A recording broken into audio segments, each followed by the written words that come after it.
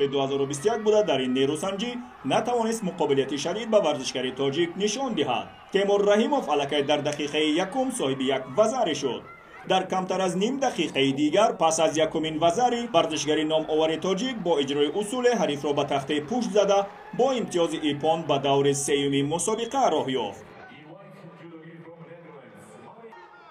дар даври сеюми нерӯсанҷиҳои чемпионати ҷаҳон дар вазни мутлақ ду варзишгари бо ҳам ошно темур раҳимов ва ҷозеф терҳеки фаронсавӣ қувва озмуданд.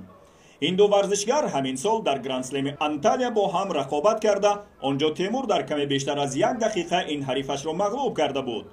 дар ин нерӯсанҷӣ ҳам нахуст дуҷониб соҳиби яктои танбеҳ шуданду дар идома темур раҳимов дар як зидди усуле бо истифода аз усули буғӣ кардан ҳарифро водор ба шикаст намуду рақобатро пеш аз муҳлат ба фоидаи худ ба анҷом расонида ба даври чорякниҳои чемпионат роҳ ёфт